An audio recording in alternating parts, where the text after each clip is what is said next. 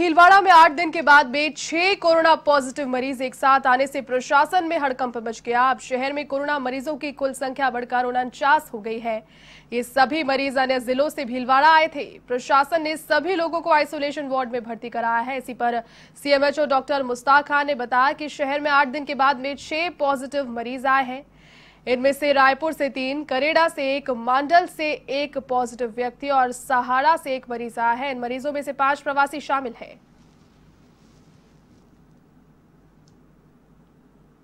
ज़िले में जो है छः केस और कोरोना पॉजिटिव निकले हैं और फोर्टी नाइन केस टोटल अब, अभी तक हमारे हो गए हैं।